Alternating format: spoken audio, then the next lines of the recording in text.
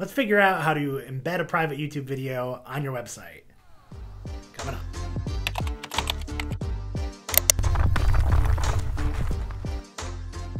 Okay, so the service that everybody wants to use for this is YouTube.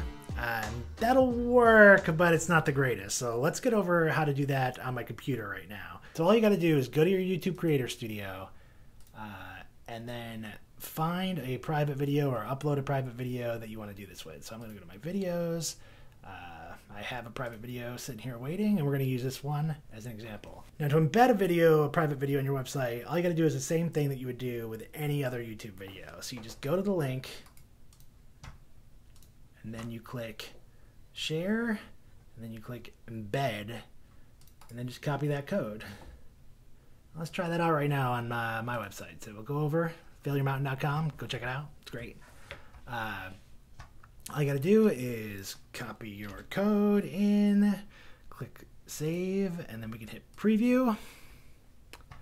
And as you can see, even though that video is private, uh, I'm able to see it while it's embedded on my website uh, because I have permissions to. As long as you have permissions to see the video, you can embed it. The problem is no one else has access to it. Now there's a couple solutions to that. The first is you could just mark the video as unlisted. And if you do that, your video won't be shown on your YouTube channel, but anyone with the link can get to it. So it's not really private.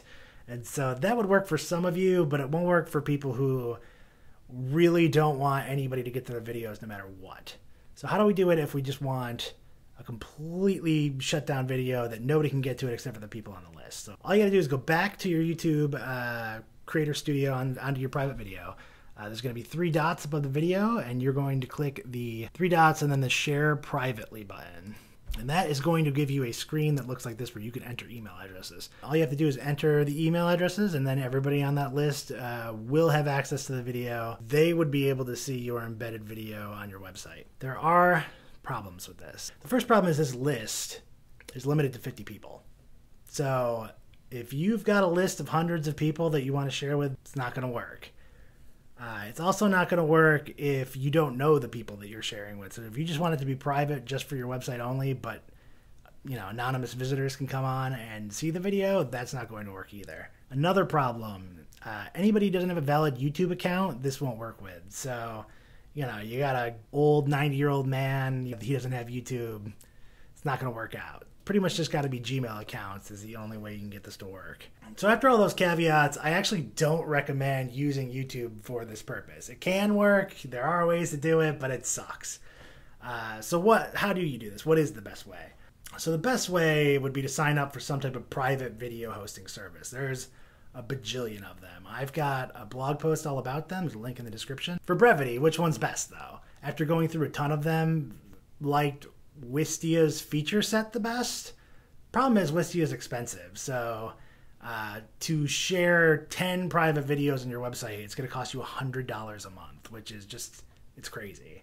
Um, and then if you want to go above that, they actually don't even list the price on their website anywhere. I had to reach out to them for it back in May. And when I did that, uh, they quoted me at about $400 a month for up to 100 videos. Uh, if you've got like a big media library you want to share this way, it's gonna be real expensive. Okay, so you're not made of money and you want to use something besides Wistia. That's fine. I uh, I've got a list of other services that are in like the thirty dollar a month range. Uh, the one I'm recommending people is Vidello. Uh, and the reason I'm recommending it is because it just got pretty much all the features you need. You can have everything be private. It's really easy to just upload the video to the website and embed it on yours.